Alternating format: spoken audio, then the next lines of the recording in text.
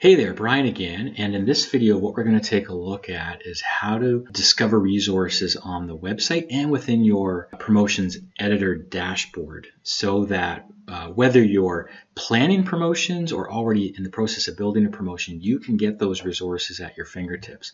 So here, when somebody visits the website and goes to the applications page, and clicks into any one of these campaigns. Let's say we click into a video contest. You can try the demo. We've been through that in a previous demo uh, video, but if we scroll down through this material, you can see there's some case studies.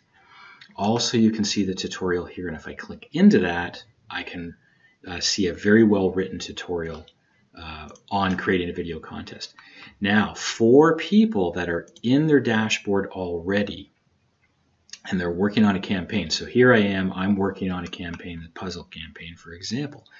When I scroll down in this editor or in this dashboard, I see here view tutorial. It's going to take me to the exact same tutorial that you would have found through the applications on the website. And here's what the tutorial page looks like. So it's a tutorial. You can click into these sections. It'll take you down to those sections within the tutorial page.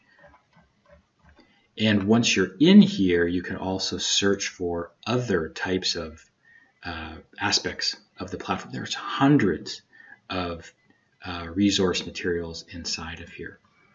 Now, back to the website.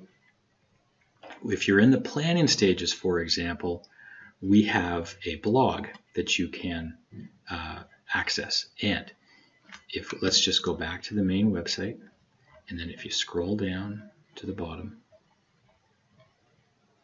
and you can see in here, there's the documentation area that uh, we were just in. And if you want to click through to the blog, we put a lot of materials in here, educational, how-tos, business news, so information about applications, uh, success cases are in here, interviews, uh, ideas for your website. So you, you can search something if you're doing, for example, a Christmas idea, if you're doing a Halloween idea, uh, you can come and search through here and click into the various uh, blog posts. And one last area that I want to share with you for this video is the resources tab.